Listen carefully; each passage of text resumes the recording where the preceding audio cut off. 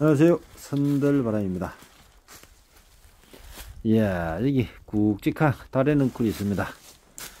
어, 옛날 민간에서는 이 달의 능쿨로 지팡이를 만들어 쓰면은 요통이 없어진다고 해서 이 능쿨로 지팡이를 만들어 썼다는 이야기도 있습니다.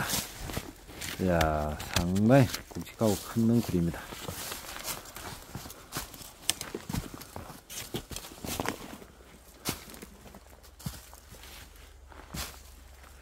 야 여기는 등갈색 미로버섯이 있습니다.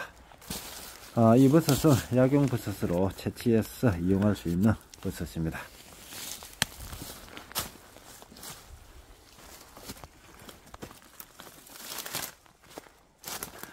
와 여기 버섯이 엄청 붙었습니다. 어, 이 버섯은 삼색 도장버섯이라고 합니다. 어, 이 삼색 도장버섯은 갈색이나 해갈색, 적갈색 등 어, 다양한 색깔을 가지고 있는 버섯입니다. 어, 그리고 이 버섯은 어, 약용버섯으로 면역력, 항암작용, 항균작용이 뛰어난 버섯이기도 합니다. 와 정말 많이 붙었습니다. 자 이것도 여러분 보이시면은 채취해서 어, 이용을 하시면 됩니다.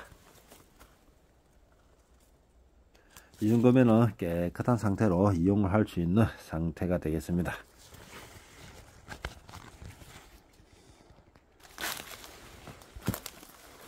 자 여기 칡능굴에 버섯이 있습니다. 자 이렇게 치게 발생하는 버섯을 칡느탈이라고 합니다. 야 반질반질 상태가 좋습니다. 아, 겨울에 야생에서 채취해서 먹는 이 버섯의 맛과 향은 정말 끝내줍니다.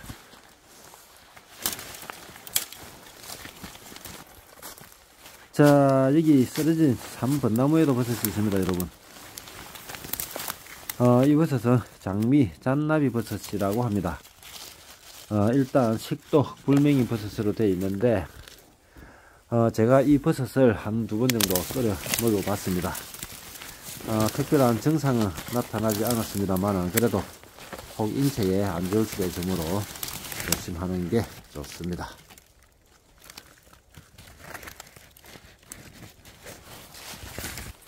자 여기도 산벚나무에 작은 느타리가 붙었습니다. 어, 겨울이라 얼었다가 녹은 것 같은데 어, 아주 싱싱한 상태입니다. 아이고야 깜찍합니다.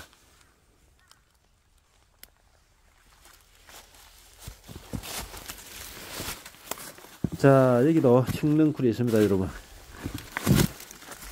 어, 여기 칡능쿨에도 느타리가 있는데 어, 이 느타리는 어, 조금 일찍 발생한 것이라 벌써 다 썩었습니다. 아, 이용을 할 수는 없을 것 같습니다.